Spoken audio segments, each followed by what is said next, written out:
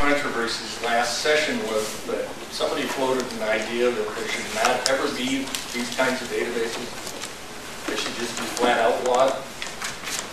Um, I want to get a sense of, is there anybody in the room who thinks that gang or other types of law enforcement intelligence databases, by anybody in the room, I mean anybody at the table, ought to be flat outlawed, that they just should not exist?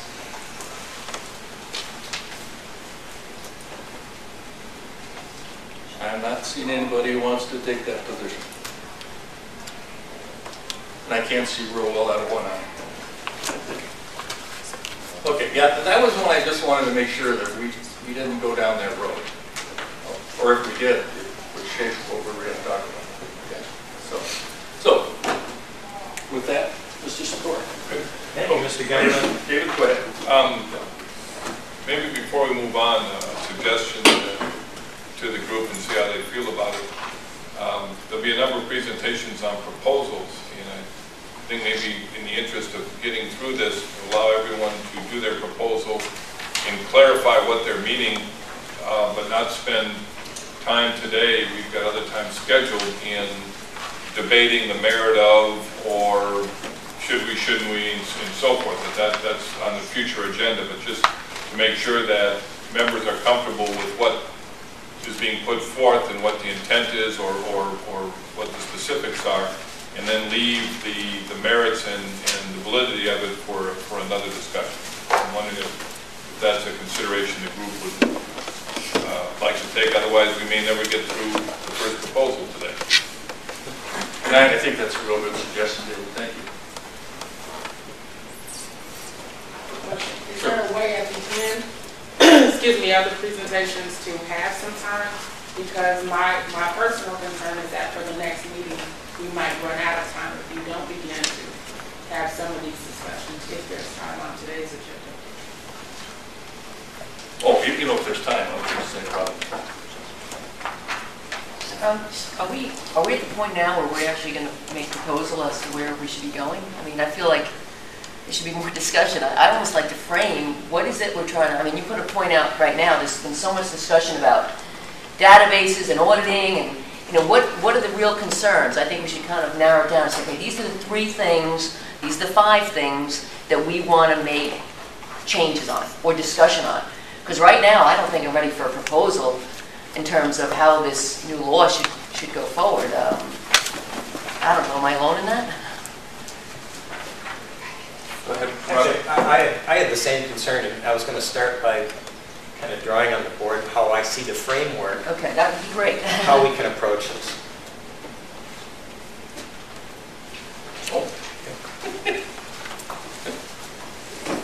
Don, you asked about the, uh, the, uh, the gang sign that's like this, and I'm, Well, actually, anybody who sees you do that more will assume it has something to do with your cataract surgery. Nothing. Spock does it better than I ever could. Um, As I was listening to the discussion before, I- the- I I scribbled down a framework. And I- and this is the way it works in my mind, and it may or may not work in yours. Um, But I do see a very central question.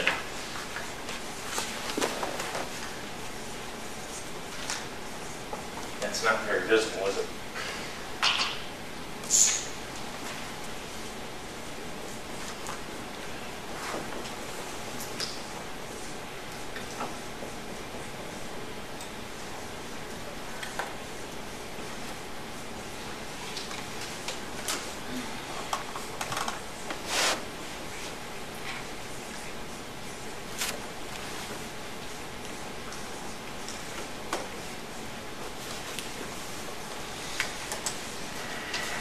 In my mind, I think of that as the central question that we're facing, and, and, and that involves the Minnesota Government Data Practices Act and possible changes to the Data Practices Act. And spinning off from that come a whole number of questions. I see GangNet, and Mr. Connor said that Minneapolis Police has a gang database, and there's the, the gang pointer file. Mike Bosacker was here talking about MNJAC. Um, The law could be changed so that uh, Chief Goldstein's department could open a, uh, an intelligence file on an individual that they believe may be uh, committing, may be planning on committing a crime. So call that a local intel file. Um, There's also the question about data coming in from other states and going into some of these files. So there's the question about traveling data. And when I gave my presentation at our last meeting, I talked about the Iowa intelligence file that could come into Minnesota law enforcement. How do we handle that? If it's confidential in Iowa, what does data practices law allow in Minnesota? Um, And there's kind of a fun one, and, and, and this is, uh, it's in your materials. We heard from the St. Paul Police about LPR, license plate reader. And while I really do want to address a lot of uh, our discussion about what I see as the core issue, I think this is kind of a fun one, and it might be low-hanging fruit for us. As Jim uh, said, he's kind of interested in finding something we could all agree on. Um, And, and the St. Paul Police talked to us about license plate reader. And they said, you know, it's this gizmo on top of the squad car. And I talked with uh, uh, Jeff Rugel from Minneapolis Police Department. He said, we're bolting them onto bridges. So that as the vehicles are coming underneath, we're gathering images of license plates, converting them to digital data, comparing them to wanted vehicles, stolen vehicles, that sort of thing. Gathering information about individuals who might commit crimes. In this case, it's gathering information about, information about motor vehicles that may be driven by people who are possibly going to commit a crime. And here's the part that bugged me. They said, it's public data. Anybody can grab it for 14 days. And then we, you know, if something comes up in two weeks, we have the information about that vehicle is on, under that bridge at that time. And what concerned me about that, when I heard that that information was public, and this is going to make your brains explode because I'm going to argue for a heightened level of uh, uh, data protection. I, I don't think that license plate reader gathered data should be public. Because any one of us could open a data harvesting business, go to law enforcement agencies that gather those license plates. It's not just the plate. It's northbound on Highway 35W underneath the 46th Street Bridge at 8:02 a.m. It reveals more than that moment in time. As the data harvester goes to law enforcement and grabs volumes of that data, keep in mind they might not be me, it could be somebody in the Czech Republic or the Virgin Islands or uh, somewhere in Russia, anywhere in the world that's connected to the internet, i.e. the whole world, can grab that data and make it available for a $6.95 charge to your credit card to punch in the license number and find out that hmm, between 8.02 and 8.17 a.m., Bob Sykora is always in the northbound lane of Highway 35W going by the 46th Street Bridge. Somebody wanting to burglarize my house, see my car in front of my house, look at the license number, go to the data harvester's website, punch in my license number, my vehicle plate number, see my pattern of always being on that spot of the highway at any given time on a weekday morning, and know that that would be a good time to burglarize my house. There's some scary scenarios where a stalker or ex-boyfriend or random goofball could do that to um, call up the license plate number of somebody that they know that they want to harass or stalk.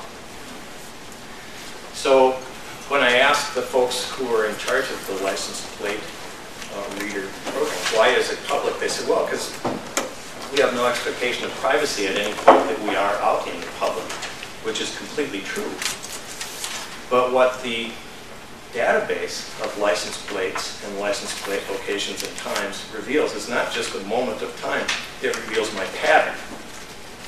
And by revealing my pattern to a stalker or a burglar, it takes, in a perverse kind of way, it takes information gathered by peace officers and makes it available for uh, possible violations of the law. So that's why I offer that as kind of a, um, I'm hoping it's sort of a low-hanging fruit that when we start making decisions, we can talk about license plate reader. It would, in my mind, be a lot safer for people if law enforcement did what the uh, folks who do the MnPASS uh, have done, and they, before they implemented MnPASS, which is the little medallion that sits in the corner of your windshield, and when you go under it, a charge is made for being able to travel in the HOV lane on 394. When the Department of Transportation decided they were going to collect that information, which creates the same set of risks as I've just described LPR has, they went to the legislature and they got that information classified as private so that it's available to the collector of the data and it's available to the data subject, but it's not publicly available. So my first request for you is that we um, uh, talk about license plate reader uh, data and recommend that when government collects that information about individuals, they keep it private. So how- how would you like to proceed? Do you want to